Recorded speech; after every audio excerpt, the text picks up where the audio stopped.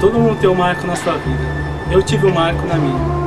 Um marco de convergência, um marco de mudança. Esse marco tem o um nome. Marco Bebiano. Eu era um cara muito desiludido na mídia, até que o dia que Marco me chamou e fez eu desistir da minha ideia de abrir uma pastelaria e sair vendendo pastelzinho de queijo e carne aí pela rua. Virei um mídia online e minha vida mudou graças a Marco Bebiano.